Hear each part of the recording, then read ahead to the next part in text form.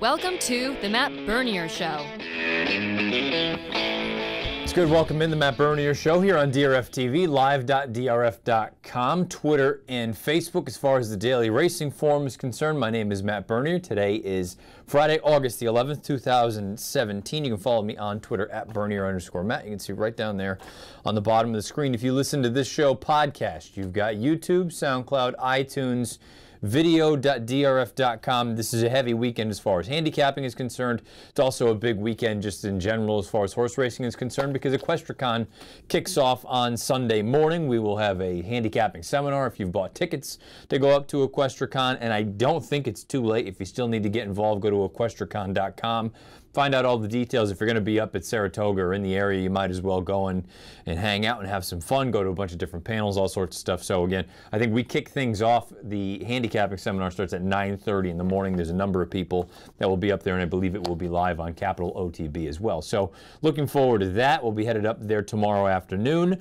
But before we get to that point, let's kind of take a quick uh, look back and see what happened last weekend because there was a pretty big horse that ran in a pretty big race up at the spa named Gunrunner. He ran in the Grade 1 Whitney, and it was one of those things where we talk about it we saw Arrogate a few weeks ago, just completely bomb in the San Diego. People wondering, is it over for him? Is he lost a step? Is he bored? X, Y, and Z, whatever the case may be. Gunrunner, the question was, now in a race like this, would he have the opportunity to really stamp himself as a viable alternative or possibly even better than Arrogate? And he would have had to deal uh, at face value with a little bit of adversity because Luch Stables entered what appeared to be a rabbit cautious giant. And there was an issue there. We'll talk about that in a moment. But guess what? No issues for gun runner. Larry Collmus with the call from the top. Gunrunner turning for home in the Whitney. In front by two. On the outside, breaking lucky is second. Keen Ice has made his way up into third, but he's still far behind. And now Florent Geroux lets Gun Runner go, and he's opened up a four-length lead.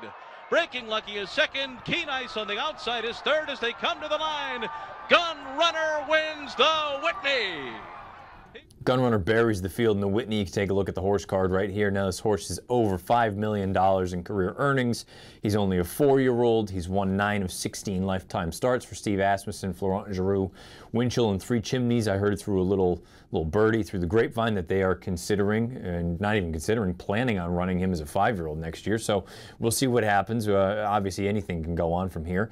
Uh, this horse is remarkable in the fact that it's nice to see what happens when horses really mature and start to come along. You notice that he didn't pop to his left lead at all right there. I think that was partially Geroux, partially the horse. Flo didn't want to get into him, didn't want to have any sort of hiccups or issues, and you can take a look. These are his most recent 10 races as far as uh, past performances are concerned. And he's on quite a string right here. Uh, let's call the Dubai World Cup a 110 plus Beyer. That means that he has earned a 110 or better in each of his past five starts. Going back to last fall's Clark Handicap down at Churchill Downs, the interesting thing, thing, though, about these five most recent races, they are all the best of his career. Uh, not only do they coincide with him getting older and developing and maturing, but you, you can't help but notice all the ones in the PPs. And we brought up Cautious Giant. You see, at the first call, he was a length behind, but Cautious Giant wasn't ridden in the sort of typical rabbit fashion where they got a half mile and 48 and change. That's not really how a rabbit is supposed to be ridden. And then you had the sort of fun little side story there when Gunrunner comes back and there's a horseshoe hanging out of his tail. He wins that race for fun with five shoes, one of them not being his. He picked it up from, it looked like Cautious Giant down the backside sprung a shoe, and this horse happened to get it all tangled up in his tail. Now we get to a situation where, again, Gunrunner does what he's supposed to do, a career best number of 112 as far as Beyers are concerned. Now you've got to start wondering. Next week is a big, big weekend, I think, in the overall landscape of, let's just say, the Classic division because Arrogate comes back in the Pacific Classic. Unless something unforeseen happens, uh, Baffert has at least laid out the option that they could call an audible and wait for the Woodward one week later on Labor Day weekend up at Saratoga, but it sounds like next weekend, or I'm sorry, two weeks later up at Saratoga. It sounds like right now he's going to run in the Pacific Classic, a mile and a quarter, and he's not going to have, it's not going to be a walkover. You've got Accelerate, who won the San Diego Handicap. You've got uh, Baffert, another entrant in there with Collected, who it sounds like he's training up a storm. Uh, you've got other horses in there that may be a little bit overmatched, Donworth and some other runners, but you know, Arrogate has the opportunity, and I still maintain, I think Arrogate's best is better than Gunrunner's best. We don't know if we're going to get Arrogate's best, though. If for some reason he stumbles and he stubs his toe and he doesn't rebound and get back to the good Arrogate that we know, boy, you've got to look at it and say not only is Gun Runner the leading light as far as the Classic division is concerned, he is a pretty prohibitive favorite, but there's also a part of me that wonders now does that whole division become a little bit more interesting where you're going to get some some fresher faces, some newer faces that maybe they would be thinking races like the Dirt Mile or other year-end goals and maybe they decide, you know what, if the big horse Arrogate's out, we love, we, we try, you know, respect Gun Runner, don't get me wrong, but jury is out. Don't know if a mile and a quarter is really his game. He's never run at Del Mar. Um, maybe all of a sudden you get some more horses that show up for a race to the Classic and it becomes more of an intriguing betting race. But one thing at a time, all we know right now, Gun Runner is the goods. He has gotten markedly better from his three year old campaign. He's much more professional. Steve Asmussen's done a fantastic job. And he is a, a serious, serious threat to Arrogate as the best dirt horse in the world. Arrogate has the opportunity next Saturday to sort of, let's say, counterpunch. He's already been punched in the face earlier this month. Now maybe he'll have an opportunity to sort of rebound here next weekend in the Pacific Classic. We're going to take a break on the show. When we come back, all handicapping the rest of the way. The middle segment's going to be all about Arlington International and our friends at Fasig-Tipton the Turf Showcase. They've sponsored all of the Arlington coverage this week. We'll go over three races there, two of them grade one variety, and then we'll come back, wrap things up with a couple of baby races, one from the Spa and one from Del Mar on Saturday. Stay with us on the Matt Bernier Show. North America's first yearling sale for horses with turf appeal is coming to Fasig-Tipton. Selected yearlings by the nation's top turf sires. The Fasig-Tipton Turf Showcase presented by Woodbine Racetrack, September 10th in Lexington, Kentucky. Where will you be? Luxair Jets is excited to announce the new, most convenient way to fly nonstop from Lexington to historic Saratoga Springs throughout the racing meet. We are now offering exclusive group packages on our luxurious private jets.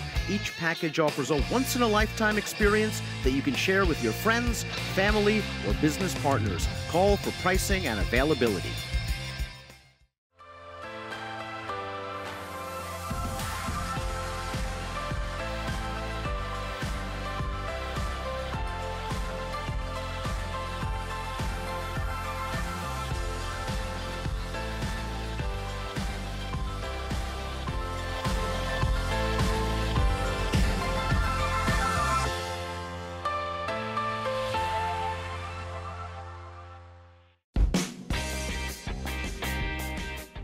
This summer, it's Spa Babies presented by WinStar Farm. Every Wednesday through Sunday during the Saratoga meeting, Nicole Russo and I will analyze the best two year old races at the spa. We'll go beyond the past performances and discuss pedigree, trainer patterns, workouts, and more. It's Spa Babies presented by WinStar Farm every Wednesday through Sunday at video.drf.com. 1208 here on the East, 908 on the West Coast, the Matt Bernier Show, drftv.live.drf.com, and the Daily Racing Form Twitter and Facebook handles. Let's dive into some racing from Arlington International. All of the Arlington coverage this week brought to you by Fasig-Tipton and the Turf Showcase. Let's dive into two grade ones and a grade three. Let's start off with the Beverly D. Older fillies and mares, I shouldn't say older fillies and mares, three year olds and up. Let's take a look at the field here. Uh, again, if you're new to this entire show, on the far right side of the screen, if you're watching the visuals, uh, those are my odds what I think is fair value on each one of these runners. It's not a morning line, it's not anything else like that. It's just what I think I would need to represent fair value. The number one is Dacita for Chad Brown, one of a few in here for Chad. 8 to 1. Prado Sweet Ride 49 to 1. Kittens Roar 16 to 1. Dona Bruja 5 to 1. Grand Jete 9 to 2. Zipessa 19 to 1. Reina de Bateria 13 to 1. Sarandia 32 to 1 coming in from Germany as we flip over to numbers 9 and 10. Hawksmoor likely going to be forwardly placed in the Julien Leparoux 6 to 1. Rain Goddess for Aidan O'Brien and Ryan Moore 5 to 1 odds. It's a really interesting race because you've got a number of a number of runners in here that on their best day can win a race like this. Dacita is one of them. Dacita at her absolute best is capable of winning this race. Um, there's a part of me that wonders if she just lost a little bit on the fastball. She's always going to be a goof with the lead changes down the lane. That part doesn't bother me so much because it is her. Um, I just do wonder a little bit, though. Maybe she's not quite as good as she has been in the past. Kitten's Roar is a nice horse from Mike Maker that she just I think she's in a little bit tough. She's run some good races. She's run tough races against really good company, and she hasn't been embarrassed. And I think you're going to get another honest effort out of her here. I just don't think she's quite as good as the top two or three in this spot. So she's one that I'm fading a little bit. Hawksmoor. Uh, Hawksmoor is dangerous. I'm still not convinced that distance is her friend. I know she won the New York most recently, and that was at a mile and a quarter, but she walked on the front end. And again, we've talked about it here on this show and out of the gate and anything else that we've got here on the racing forum. There really isn't anyone better than Julien Leparoux on the front end on turf, particularly turf, but he's very good rating paces on the lead on dirt as well. I just think uh, if you allow Leparoux to get out there and dictate things, he's going to make you pay. Uh, Hawksmoor, if the distance isn't a problem for her, she's certainly a player. Rain Goddess, I don't want to say is the X factor of the race, but in a way she kind of is because we know O'Brien's had uh, tremendous history sending horses over from Europe and running in the big races over here. She's also a three year old facing elders. She's one for seven lifetime, but she has kept some very, very good company. Most recently, she got her doors blown off running second behind Enable. Enable might be the best turf horse in the world. I, maybe I'm being a little bit overzealous there, but you look at what she did against older horses, older males, and the best males uh, in the King George. Uh, just I believe at the end of July. I mean, I know it was over a bog, but she she destroyed Highland Reel, who I know he doesn't act over that ground, but she destroyed Ulysses. She destroyed Idaho. She destroyed some really good horses. And she's a three year old filly. Uh, she might be the favorite for the Arc before it's all said and done for John Gosden. That leads me to the two horses that I'm most interested in. One of them is Dona Bruja. Dona Bruja for Nacho Correa. She's come here to North America. She's done nothing wrong. She's two for two. She won the Modesty, and I believe, I don't remember what the race was at Churchill Downs, but she won that race as well. I, I, think she is very, very good. I think there's a lot of talent here. She's never really gotten out of a gallop, so you don't know what the bottom is here. Uh, from a speed figure standpoint, she fits. She makes a lot of sense. She's won over the racetrack. Distance is only going to be her friend. Dona Bruja is my second pick in here behind my top pick, and I, have labeled her a live long shot, although I don't know how long she's going to be. I think Grand Jeté visually is a horse that that boy she checks all the boxes. Now on Figs, she's a little bit light for Chad, but her most recent race at Belmont Park was good. She was in a little bit of traffic. She had the alter course. She beat a decent enough horse in Bar of Gold who came back to run third last weekend in the De La Rose. The race that really kind of got my ears perked up, and I think it was immediately after this race, Chad Brown said, the Beverly D is where we're going to go. We're going to take a look at the Eatontown right now. This was down at Monmouth Park, two starts back. She's in the Godolphin, uh, Godolphin, the Juddmonte colors. I know that, that, talk about Hatfields and McCoys. She's out in the clear now. She's finally hitting her stride, and she's going to go on she's going to finish this thing very, very nicely, finishing full of run. She didn't have the cleanest of trips, and she still buried this field. She wins by about a length and a half, two lengths. I understand Zipessa, who ran second, maybe she's seen better days. Uh, I'm sorry, she ran third. Zipessa did. I think Grand Jeté, though, this seems to be the spot. Now, the concern, if you want to sort of look at it the opposite way, is that she's not fast enough. Right now, on Timeform US numbers or Beyer speed figures, she's just simply not fast enough. She's going to need to run the best race of her life by far. Um, whether she's capable of doing it or not, I don't know. I'm, I'm gambling that she is. Now, keep in mind, I made her 9 to 2. She's 6 to 1 in the morning line. I really, this is a situation where I've got to be really tight on that line because if she goes anything below four and a half to one, I, I, can't touch her because of the reasons I just brought up. She's not fast enough right now to win a race like this. Dona Bruja, though, if she's in that five to one range, I could easily see myself. There's a couple of races I can say this about at Arlington on Saturday afternoon. I could easily see myself playing some sort of a Dutch and playing a couple of horses to win, just trying to eke out. You know, can I get two horses and turn them into two to one instead of having one at five to one and one at whatever else it may be? So uh, it's Grand Jeté for me in the Beverly D. I like Dona Bruja as well, though. Let's move on to a million number 35 at Arlington Park. It is their marquee event. You've got a field of 13. Let's take a look at that field if we could. In post position order, the number one is Oakbrook, 49 to 1. Oscar nominated, 49 to 1. Enterprising, 49 to 1. Ghost Hunter, 49 to 1. Deauville, 9 to 2 for Aidan O'Brien. Fanciful Angel, 32 to 1. The Pizza Man, 49 to 1. Kasaqui 6 to 1 as we turn over 9 through 13. Scottish is out. He's scratched. He is going to be laid up for the rest of the year. They're hopeful to bring him back in Dubai in 2018. Beach Patrol 9 to 2. Divisadero 9 to 2. Ascend 13 to 1. And Mekhtaal with Frankie Dettori, my favorite, 7 to 1. This is an interesting race. Um, I think the most likely winner of the race is Deauville Uh, I understand maybe his most recent race was a little bit disappointing that he didn't get the job done. Uh, keep in mind, he was carrying 138 pounds that day, and I know the horse that beat him, who's been a bit of a nibbler in the past, was carrying 135, so there's not a giant difference in weight, but he's going to come over here, he's going to get about 12 pounds off, so I, I, don't think that's insignificant, and that's if they're running at 126. I don't know if it's 126, 123, whatever it may be.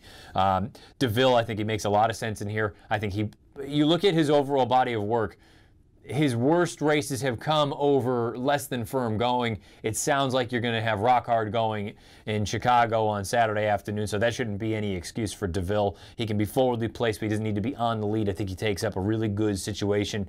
Um, but the horse that I'm going with, that's a live long shot, he's 10 to 1 on the morning line, uh, is Kasaqui. Now, Kasaqui, you could make the argument he doesn't want to go this far, this mile and a quarter distance. I think he might be best at a mile and an eighth, maybe even a mile and a sixteenth. We saw in the Wise Dan two starts back at a mile and an eighth. He really had a nice turn of foot, finished that field off. Uh, his most recent run in the Modesty, uh, not the Modesty Arlington Handicap, there I am, scrambled brain over here, uh, was good, all things considered. There wasn't a lot of pace signed on. He had to work out a bit of a trip. He was wide. I think he was best that day. But the race that I'm most interested in, and again, these two horses, they both exited the most likely winner, in my opinion, Deauville and the live long shot Kasaqui. They exit last year's Arlington Million. We're going to take a look at that race right now. You've got Deauville coming up now. He's in those sort of greenish silks. And now diving to the inside, you've got Kasaqui in the black hat. In the black hat, he is the big gray horse splitting between uh, World Approval right now and whoever the pace setter was, who I can't remember off the top of my head. But you see Deauville. Now the other thing to keep in mind about Deauville, he was a three-year-old in this race last year. Kasaqui had a dream trip. I think you're going to need to get something very similar, James Graham, aboard Kasaqui this year. If you're going to upset the apple cart, you're going to have to save some ground because again, if he doesn't really want a mile and a quarter, last thing you want to do is be losing ground. Deauville, Ryan Moore, arguably the best rider in the world. Aidan O'Brien, arguably the best trainer in the world. Uh, I think he's the most likely winner of Arlington Million number 35. Let's move on to the day's best at Arlington Park, the Pucker Up. It's the nightcap. It caps off all sorts of wagers. I believe the pick five is in there, the pick four, all sorts of stuff. Let's take a look at this field. These are three-year-old fillies going about a mile and an eighth. The number one Royalty Princess, 99 to 1. No disrespect. The number two, Fault, 13 to 1. Lipstick City for Chad Brown, 12 to 1 for Chad Brown. Journey Home, 6 to 1. Don't Mess with Joanne, 5 to 1. Sensitive, 4 to 1. Lovely Bernadette, 5 to 1. Princess La Quinta, 49 to 1. As we move over to 9 through 12, the number 9 is Katinka, 99 to 1. The 10 is Happy Mesa, 12 to 1. Canny is 32 to 1. And the 12 is Moe's MVP, 49 to 1. You'll note, again, a couple of 99 to 1 shots in there, not trying to be rude. I just don't think they figure very well in a race like this from for a number of reasons. Um, I have a dual most likely winner and live long shot in the pucker up. This is the horse that I'm most looking forward to on Saturday. Uh, and this is a filly named Sensitive. Sensitive making her second start for Brad Cox. Her most recent start was her first start since her two year old year back in October. She started last month at Ellis Park, and we're going to take a look at that race right now. I understand she was running against much inferior company, but you see her right now finally hitting her stride there on the outside. She's in that yellow cap, and she's going to go on, and, and she's only going to win by about a length, maybe a half a length when it's all said and done. But I have to be honest with you, I thought this was a very, very good effort considering she was 4 5 path throughout. She was fanned about 9 path off the far turn. She's going to make her second start off the long layoff, her second start for Brad Cox in a race where there are no superstars whatsoever. I think everyone's going to go overboard on Chad's horse. I don't love Lipstick City. If she wins, I lose. I just don't think she's that fast right now. Highest last out Beyer in the field for sensitive. The problem is, and again, this is why it's got to be a little bit of air quotes with the most likely winner. Um, sensitive is 12 to 1 on the morning line. And I also have to say, live long shot, some air quotes. She's not going to be 12 to 1. I think she's probably going to be in that four to one range. I pegged her at four to one. Um, you just look at it. There are certain instances where in races that you just kind of take your papers and throw them up, and whatever happens, happens. Most people are going to look at the horse with the highest last out Beyer, sensitive. Going to look for a horse with high profile connections, Brad Cox. And as far as the rider is concerned, you get Irad Ortiz Jr. I, I just there's no way that she's 12 to one. I'd be thrilled if she's half that at six. I don't think she will be. I think she'll be in that seven to two, four to one range. Uh, I also think Cox's other runner in here, the five, don't mess with Joanne.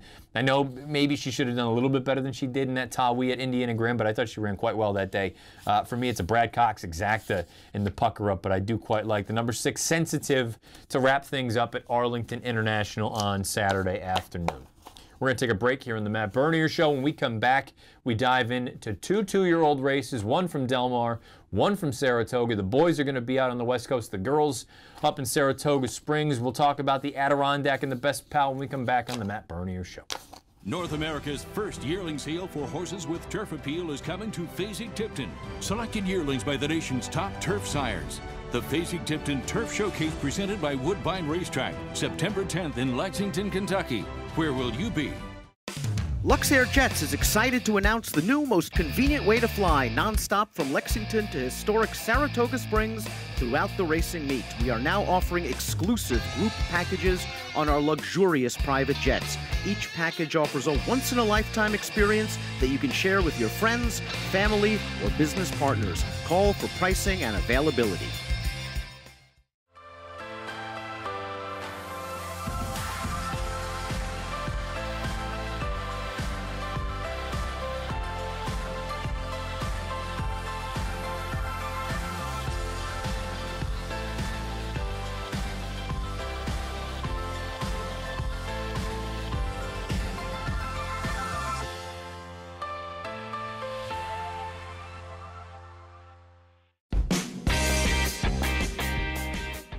This summer, it's Spa Babies presented by WinStar Farm. Every Wednesday through Sunday during the Saratoga meeting, Nicole Russo and I will analyze the best two-year-old races at the spa. We'll go beyond the past performances and discuss pedigree, trainer patterns, workouts, and more. It's Spa Babies presented by WinStar Farm every Wednesday through Sunday at video.drf.com.